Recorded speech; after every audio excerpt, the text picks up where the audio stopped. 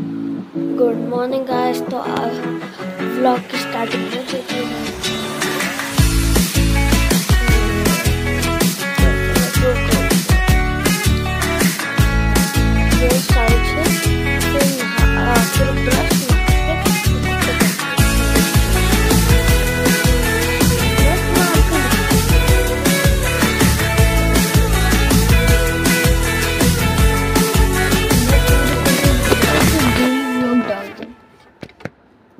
Thank you.